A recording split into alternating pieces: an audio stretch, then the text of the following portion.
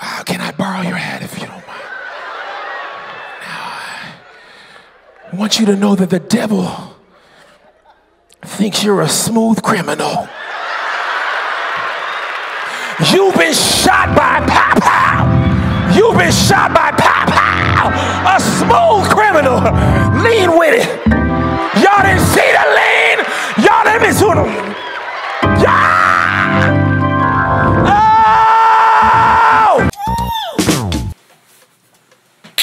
On, everybody, and welcome to another episode of Tunji's podcast. I am your host, Tunji Taylor Lewis.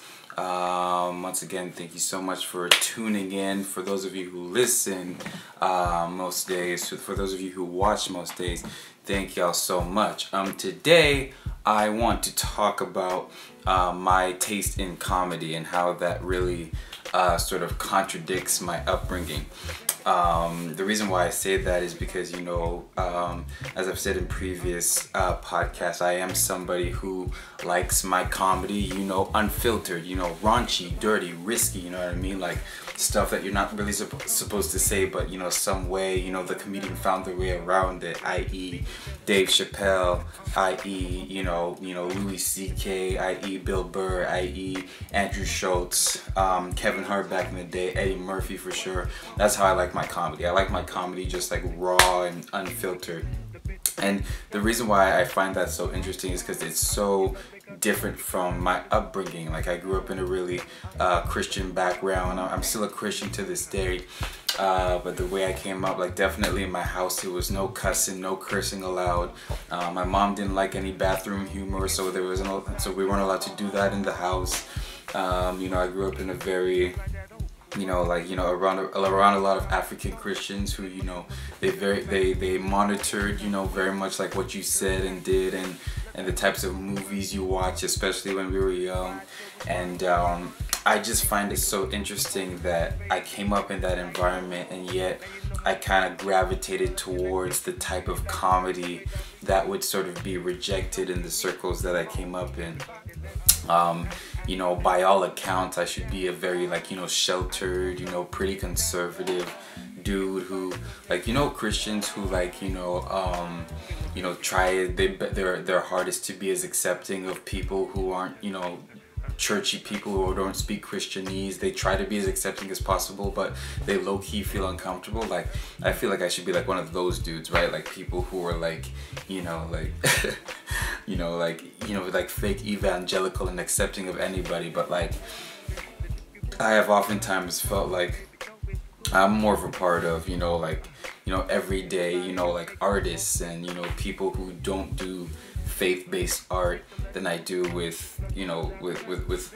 with Christian artists. And uh, yeah like I said because of the way I grew up it, it's just the strangest thing. I guess just naturally with my personality um uh, hold on we got a comment here. I just wanted to say I love your videos and don't uh, and don't worry about and and sorry this is let me try to read this. I just want to say I love your videos and don't worry about who talks about you. Keep doing what you're doing. Thank you very much. Ison Palmer 01. Really appreciate that encouragement, man. Thank you so much. Um, but as I was saying, I think naturally in my personality, I'm just somebody who you know, when somebody tells me, you know, like, you know, yesterday I talked a whole bunch about like how I don't like people telling me what to do. Um, and ever since I was young, I, I, you know, if somebody told me something was bad or something, somebody told me I shouldn't do something, I shouldn't, shouldn't get into something. Um, if I couldn't logically for myself figure out the reason why, um, something wasn't good or something was something I shouldn't get into, I would just like naturally like you know gravitate towards it. You know what I mean? Like I would just like be I would just look at it and be like, well, why? Like, you know, I, I guess. Um, you know, as Christians, a lot of us um, get into the danger of like just you know taking whatever the pastor says as gospel, and and not really like thinking through our faith you know, for ourselves and figuring out why we believe it for ourselves.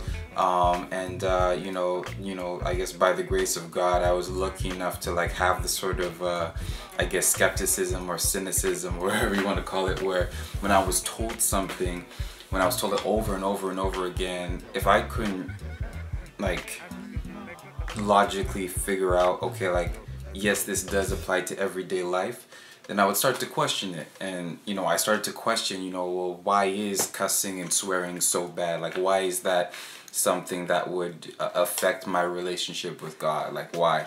And um, just for myself, I started to look at it and be like, you know, well, I see Kevin Hart selling out, you know, tours all over the world. You know what I'm saying?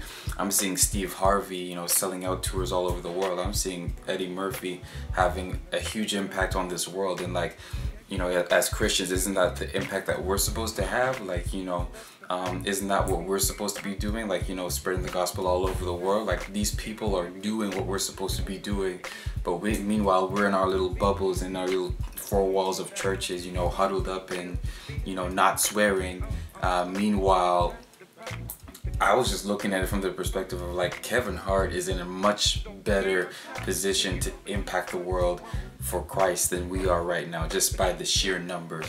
And so um, that's not to say that you should just all of a sudden go out cursing if you want to affect people for change, for for God or anything like that. My point is is that whether you're cursing or not cursing, it ultimately doesn't affect whether or not God could use you. And this is like a uh, conclusion I came for in myself. And um, the thing that I realized with you know like with the swearing and cursing thing, it's just like you know like it, it just depends on the context. Like obviously you don't want to be cussing and swearing around your grandmother, around church people, but if you're around your friends and um, you need to use like language that they're comfortable with in order to get a message across to them. It's much better if you're get a if you're able to get the message across to them than worry so much about which words you're using. Um, and yeah that's just sort of like one example of like how I've always been. I've always been that way. I've always been somebody who has to just like break it down and um, you know I, I, I definitely am not somebody who um, who um, who you know follows any certain you know philosophies or follows any certain ideas just because it's the popular one at this time or just because everybody else is doing it. Like I really have to think through it myself and um, you know um, you know I, I think that's you know that's that's definitely uh, served me well um, at the same time though it has you know sort of caused a situation where I find myself having to explain myself to a lot of people and defend my you know point of view to a lot of people which can be annoying sometimes you know what i'm saying? Because like sometimes you know it just feels good to just be around people who understand you or just accept you no matter what and you don't have to get into a, a whole back and forth and debate you know what i mean? And like you know I, guess you know being naturally introverted you know you feel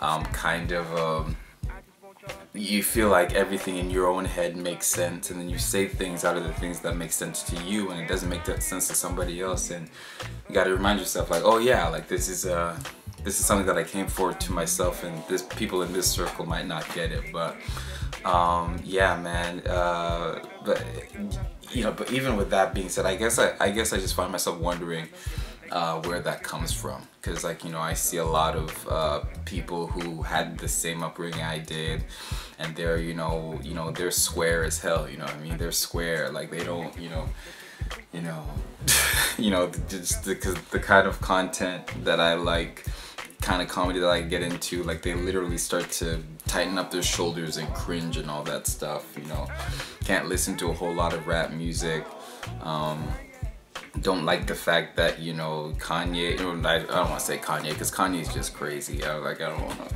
That's a, another discussion for another day. But like questioning if you know Chance the Rapper is you know really doing you know Christian stuff or stuff for the glory of God. You know what I mean? Like, um, yeah. Um, you know, I, I guess this discussion is kind of shifting into a different way than I expected. But you know, I don't know how many followers I have who are believers out there or who, um, you know, who believe in God or anything like that. But you know, if you do, like, just know that you know God can use everybody, and you don't have to be a, a youth pastor.